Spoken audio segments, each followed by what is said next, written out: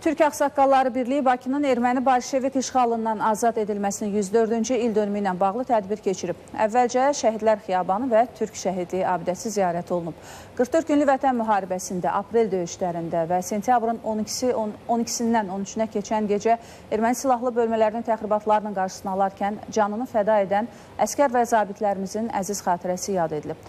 Türk Ağsaqqalları Birliyinin Təşkilat Komitəsinin sədri Südeyev İmanverdiyev bildirib ki, bugün Xalq dövlətimiz və prezidentimiz ətrafında sıx birləşməli, ərazilərimizin əbədi təhlükəsizliyini təmin etmək istiqamətində atılan addımlara dəstək verməlidir. Südeyev İmanverdiyev bildirib ki, 1918-ci il sentyabrın 15-də Azərbaycan və Türkiyə əskərləri Bakını bolşevik daşnaq işğalından azad edərək Azərbaycan dövlətinin tarixinə şərəfli gün yazıb.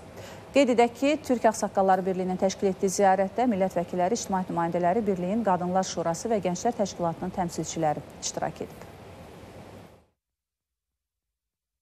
Erməni bolşeviklər birliyi Bakını işğal etmişlər və xalqımız o cümlədən bizə yardım edən Türkiyədən gələn